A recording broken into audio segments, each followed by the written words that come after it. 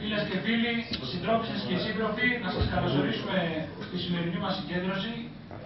Είναι η πρώτη συγκέντρωση της Λαϊκής Εισπύρωσης στο Δήμο της Εορδέας.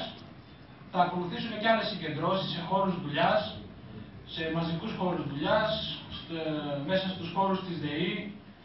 Ε, σήμερα θα γίνει μια πρώτη παρουσίαση του ψηφο...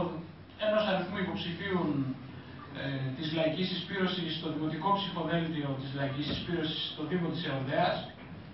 Θα γίνει η κεντρική ομιλία από την ε, συντρόφισσα την Αντωνία Τιχόλπα, υποψήφια δήμαρχο της Λαϊκής Εισπύρωσης του Δήμου Εορδέας και ένας χαιρετισμός από τον ε, ε, υποψήφιο για την περιφέρεια της Δυτικής Μακεδονίας και γραμματέα της Επιτροπής Περιοχής Δυτικής Μακεδονίας του ΚΚΕ, τον σύντροφο το Θανάση Χαστά.